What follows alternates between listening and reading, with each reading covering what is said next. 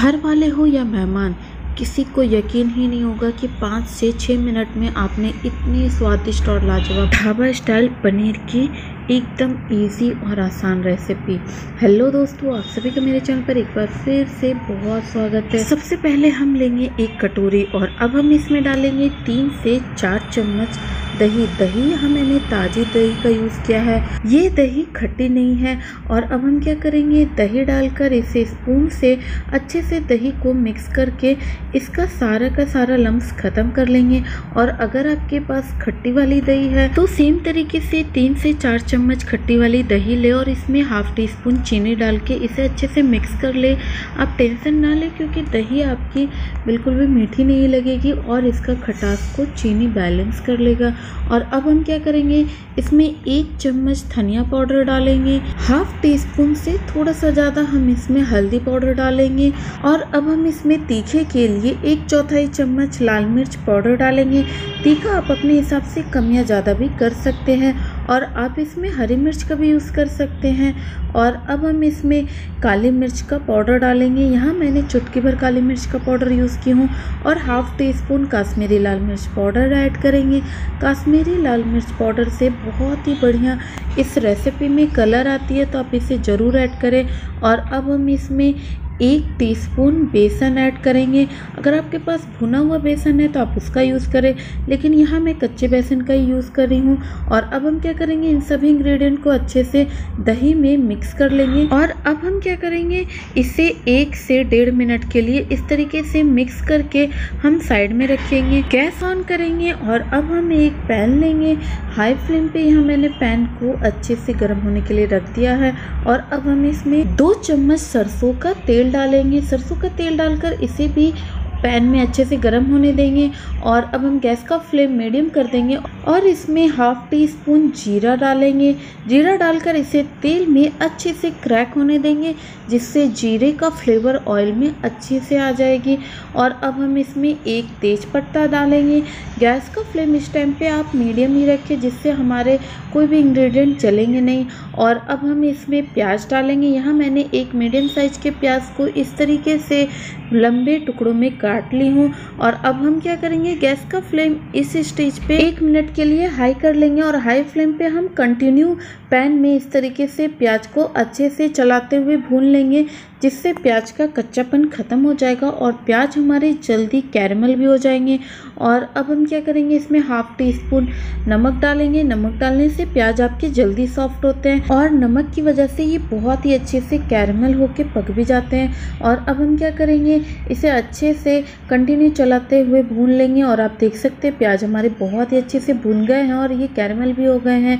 और अब हम क्या करेंगे, इसमें एक चम्मच अदरक लहसुन का पेस्ट डालेंगे। पेस्ट डालकर हम इसे अच्छे से फिर से चलाते हुए पैन में ही भून लेंगे और इस टाइम पे गैस का फ्लेम यहाँ मैंने मीडियम रखा है। जिससे हमारे इंग्रेडिएंट जलेंगे नहीं और वो अच्छे से पकेंगे। दोस्तों, आप सभी से एक प्यारी सी रिक्वेस्ट है कि अगर आपको मेरी रेसिपी और वीडियो अच्छी और हेल्पफुल लग रही है तो मेरी वीडियो को लाइक करें चैनल को सब्सक्राइब करें और अधिक से अधिक शेयर करें। और आप इस रेसिपी को अगर व्रत में बना रहे हैं तो इसमें से प्याज, लहसुन, जो भी आप नहीं खाते, आप उसे स्किप कर सकते हैं। और बाकी सारे इंग्रेडिएंट आप सेम ही रखें। इससे आप इस रेसिपी को व्रत में भी इजीली बना के खा सकते हैं। और अब हम क्या करेंगे? प्याज हमारे अच्छे से भून गए हैं तो हमारे मसाले भी अच्छे से फूल गए हैं दही में तो हम इस टाइम पे क्या करेंगे? मसाले को पैन में डालेंगे और गैस का फ्लेम इस टाइम पे मीडियम रखेंगे। मीडियम फ्लेम पे हम इसे 20 से 25 सेकंड के लिए अच्छे से पैन में मिक्स कर लेंगे और अब हम गैस का फ्लेम 10 से 15 सेकंड के लिए हाई कर लेंगे और हाई फ्लेम पे अब हम इसे अच्छे से चलाते हुए भूनेंगे, जिससे हमारे मसाला तो इंस्टेंट भुनेंगे ही और दही हमारी बिल्कुल भी फटेगी नहीं। और आप इस तरीके से इसे कंटिन्यू चलाते रहे जिससे ये पैन में लगेंगे भी नहीं और इसका फ्लेवर बहुत ही बढ़िया आने वाली है और आप इसे जैसे जैसे भुनेंगे, इसकी खुशबू पूरे आपके किचन में आएगी और हम इसे इसी तरीके से दो से तीन मिनट के लिए मीडियम फ्लेम पे ही भून लेंगे, क्योंकि सारा जो फ्लेवर है इस मसाले में ही है। और इस तरीके से अगर आप भूनेंगे तो मसाले आपके जलेंगे भी नहीं और आपकी जो रेसिपी है बहुत ही बढ़िया और फ्लेवरफुल बनेगी।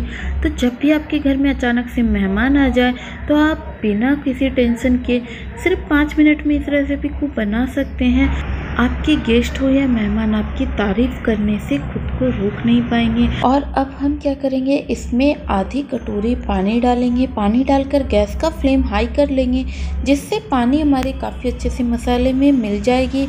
और आप देख सकते हैं, मसाले हमारे काफ़ी अच्छे से भुन गए हैं। यहाँ मैंने पानी डालकर गैस का फ्लेम हाई कर लिया है और हाई फ्लेम पे हम इसमें एक बॉईल आने देंगे। और अब हम इसमें कटे हुए पनीर डालेंगे। यहाँ मैंने 250 ग्राम पनीर का यूज़ की हूँ। पनीर को यहाँ मैंने ऑलरेडी क्यूब में कट कर ली थी। तो पनीर डाल करके हम इसे अच्छे से ग्रेवी में मिक्स कर लेंगे। और अब आप देख सकते हैं, हमारे ग्रेवी में डालते ही पनीर काफ़ी अच्छे से कलरफुल हो गए हैं। तो हम क्या करेंगे, इसे और एक मिनट के लिए ग्रेवी के साथ पनीर को पकने देंगे और इस टाइम पे गैस का फ्लेम मीडियम ही रखेंगे, जिससे पनीर के अंदर तक ग्रेवी का फ्लेवर आएगी। और अब हम इसमें एक टीस्पून कसूरी मेथी डालेंगे। कसूरी मेथी की जगह आप धनिया की पत्ती का भी यूज़ कर सकते हैं। और आधा टीस्पून गरम मसाला डालेंगे और इसे फिर से हम अच्छे से पनीर में मिक्स कर लेंगे और इसे एक से डेढ़ मिनट के लिए और गरम मसाले के साथ हम पकने देंगे। और अगर आपको पनीर कच्चे नहीं पसंद है तो आप इसे फ्राई करके भी इस तरीके से ऐड कर सकते हैं ग्रेवी में, जिससे गरम मसाले का भी फ्लेवर ग्रेवी में और पनीर में बहुत ही अच्छा आएगा। और अब हम इसमें एक से दो चम्मच घर का बना फ्रेश क्रीम डालेंगे। ये डालना ऑप्शनल है। अगर आपके पास हो तो डालें, नहीं तो आप इसे स्कीप भी कर सकते हैं।